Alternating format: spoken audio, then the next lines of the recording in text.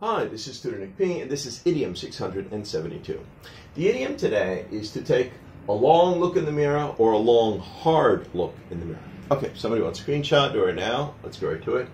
If a person says to take a look, or a long look, or a long, hard look in the mirror, it means one needs to examine uh, or look closely at or reflect on one's own life or behavior and previous actions to find any uh, of one's own flaws or imperfections.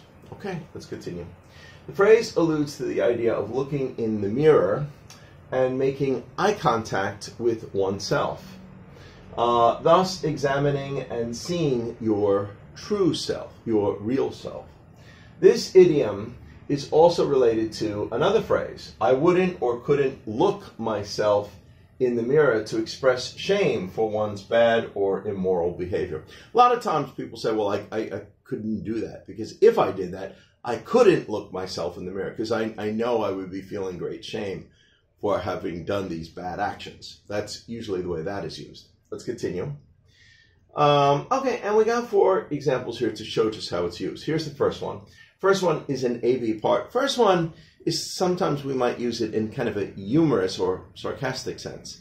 Uh, here's the first one. A says, Are you starting to gain weight? And B says, Yeah, well, you should take a look in the mirror. You are not exactly Mr. Skinny. Like, you know, you're telling me this, but, you know, you should look in the mirror. You're also uh, kind of on the fat side. Something like that.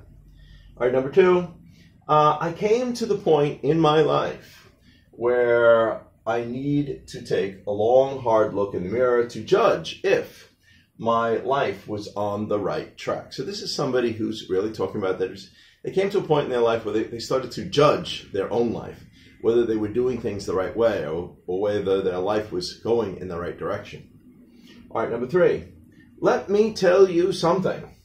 If you think you can justify these actions you are planning to take, you need to take uh, a long look in the mirror to see what kind of person you are changing into. So you might hear somebody say it this way. All right, and number four is not exactly using the phrase, but it's definitely alluding to it. The chorus in Michael Jackson's old song, Man in the Mirror, uh, again, is not exact, but alludes to this idiom. Here is the quote from his song uh, I'm staring with the man in the mirror. I'm asking him to change his ways. And no message could have been any clearer. If you want to make the world a better place, take a look in at yourself and then make a change. So if you kind of examine that quote, you say, yeah, this is exactly what he is talking about. Anyway, I hope you got it. I hope it's clear. I hope it was very informative. Thank you for your time. Bye bye.